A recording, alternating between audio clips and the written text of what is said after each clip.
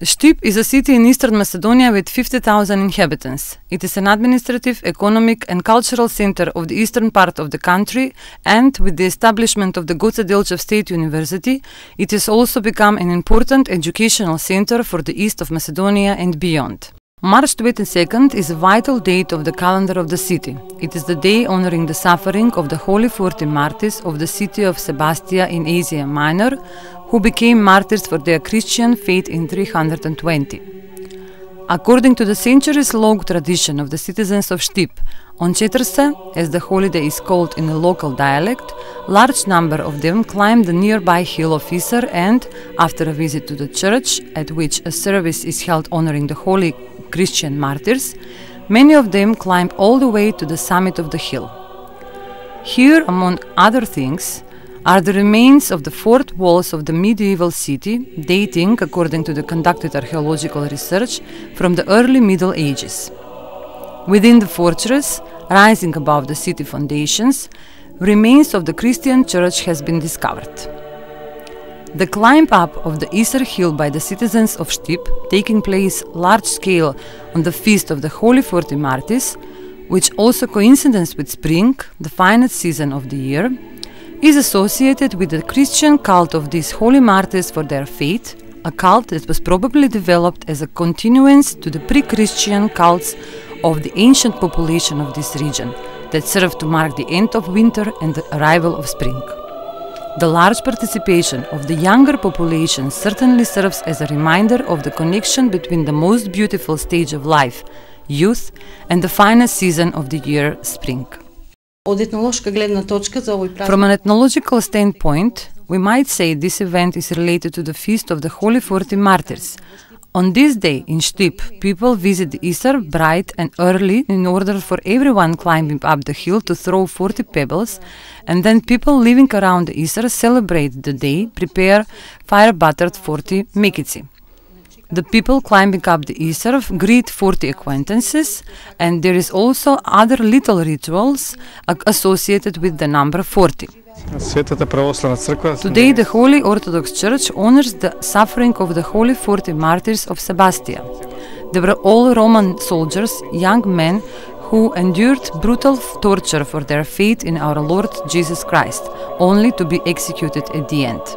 While they were being tortured in the freezing lake, 40 fiery halos descends from the night sky and stood above these holy martyrs' heads. But the climb up the Isar hill itself is accompanied by certain rituals, some of which are related to the number 40. Many, especially among the young, practice 40 greetings with the acquaintances, which have recently been shown by 40 kisses, whereas every young man or woman who has climbed the Isar has to collect 40 small stones.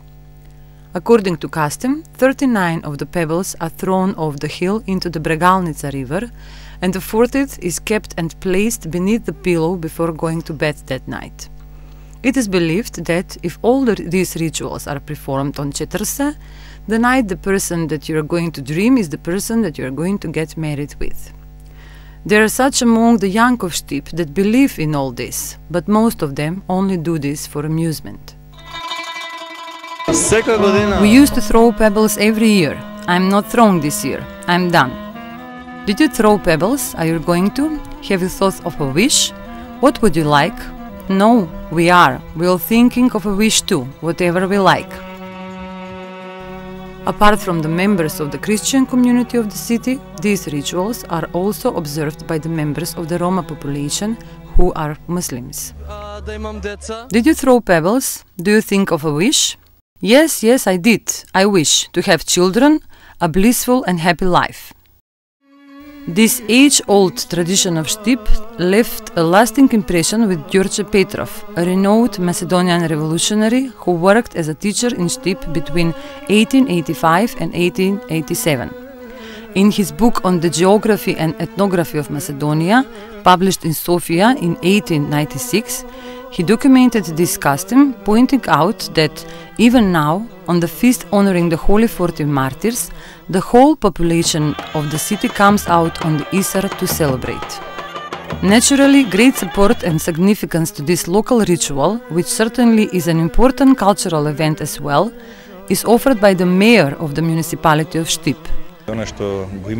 What is exclusive for Štip, that is climbing up the Isar on March 22nd on the Feast of the Holy Martyrs, we have to safeguard as tradition, and in order to do it, we need to continually add new contents. We, as local government, have set up two goals clear the area so that the citizens could climb easily to the summit and introduce new content since archaeological research has un- uncovered things that could prove interesting not only on these holidays on March 22nd on Chetrse, as we say in Štip, and organize an event at the summit of the Isar that would grow bigger every year. Today we have organized as best as we could, but we plan to make something more elaborate next year. There will be 40 songs or 40 performers. Everything should concern the number 40 and attract people not only from Štip but from all over. The graffiti were the idea of the young population. We have provided them with room to draw graffiti. I don't think there is a more suitable place than the gates of the city stadium, and I believe that the stereotypical grey walls we used to have will become an interesting location where people will make sure to look twice to see what there is. I think that the exterior design of the city is also very important in order to lift the citizens' spirits and let them know they are living in a nice urban setting.